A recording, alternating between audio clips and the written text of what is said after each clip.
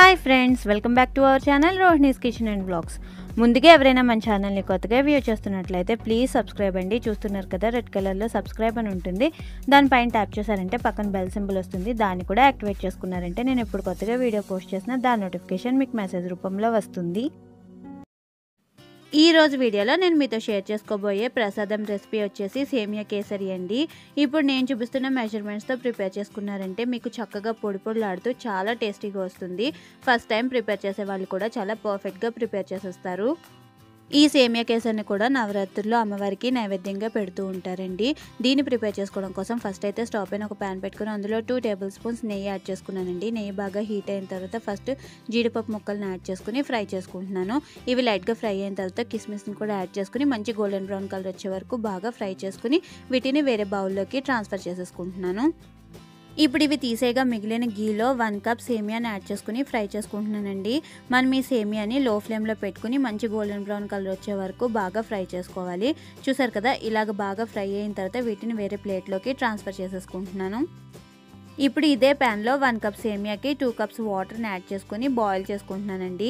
Water బాగా boil వచ్చిన తర్వాత మనం ఆల్రెడీ ఫ్రై చేసి పెట్టుకున్న సేమియాని ఇందులో యాడ్ చేసేసుకుని ఒకసారి బాగా మిక్స్ చేసేసుకుంటున్నాను. మనం సేమియాని వాటర్ బాగా బాయిల్ వచ్చిన తర్వాత యాడ్ చేసుకోవాలండి. లేకపోతే సేమియా మెత్తగా అయిపోతుంది.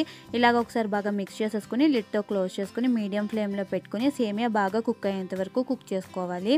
ఒక ఫైవ్ మినిట్స్ తర్వాత లిడ్ ఓపెన్ చేసి చూస్తే చూసారు కదా వాటర్ కంప్లీట్గా అయిపోయి సేమియా అయితే పర్ఫెక్ట్గా కుక్ అయిపోయిందండి. మనం షుగర్ యాడ్ చేసే ముందు సేమియా పర్ఫెక్ట్గా కుక్ చేసుకోవాలండి. ఎందుకంటే షుగర్ యాడ్ చేసిన తర్వాత సేమియా కుక్ అవ్వదు అందుకనే సేమియా పర్ఫెక్ట్గా కుక్ అయిన తర్వాత షుగర్ యాడ్ చేసుకోవాలి. ఇప్పుడు ఇందులో వన్ కప్ సేమియాకి హాఫ్ కప్ షుగర్ యాడ్ చేసుకుని షుగర్ మెల్ట్ అయ్యేంత వరకు ఇలాగ బాగా మిక్స్ చేసుకోవాలి. ఇందులో మనం షుగర్ ఎక్కువగా యాడ్ చేసుకోకూడదండి. ఎందుకంటే షుగర్ ఎక్కువైతే పాకం వచ్చేసి కేసర్ టేస్ట్ అంతగా బాగోదు. అందుకనే వన్ కప్ సేమియాకి హాఫ్ కప్ షుగర్ అయితే పర్ఫెక్ట్గా సరిపోతుందండి. కొంచెం స్వీట్నెస్ ఎక్కువగా కావాలి అనుకున్న వాళ్ళు త్రీ ఫోర్త్ కప్ యాడ్ చేసుకుంటే సరిపోతుంది. షుగర్ బాగా మెల్ట్ అయిపోయిన తర్వాత ఇందులో ఒక చిటికెడు ఎల్లో ఫుడ్ కలర్ యాడ్ చేసుకుంటున్నానండి.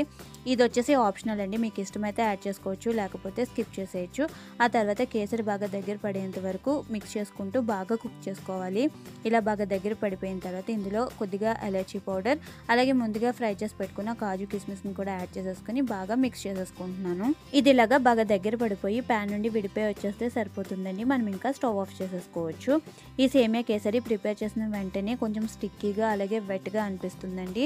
బాగా చల్లారిన తర్వాత ఇలాగ పొడి పొడిలాడుతూ పర్ఫెక్ట్గా వచ్చేస్తుంది. ఇప్పుడు నేను చెప్పిన మెజర్మెంట్స్తో నేను చెప్పిన ప్రాసెస్లో ఒకసారి సేమియా కేసరిని ప్రిపేర్ చేసుకుని మీకు టేస్ట్ ఎలా అనిపించింది అనేది నాకు కామెంట్ సెక్షన్లో షేర్ చేసేసుకోండి. ఇక్కడితో నా వీడియో వీడియో ఎండ్ చేసేస్తున్నాను. మీకు నా రెసిపీ నచ్చిందని అనుకుంటున్నాను. మీకు కనుక నా రెసిపీ నచ్చినట్లయితే తప్పకుండా ఒక లైక్ చేసేయండి. మీకు నా రెసిపీ ఎలా అనిపించింది అనేది కమెంట్ సెక్షన్లో షేర్ చేసేసుకోండి. మీకు నా రెసిపీ యూస్ఫుల్ అని అనిపిస్తే మీ ఫ్రెండ్స్ అండ్ ఫ్యామిలీ మెంబర్స్తో షేర్ చేసేసుకోండి. And please subscribe to my channel. Thank you for watching.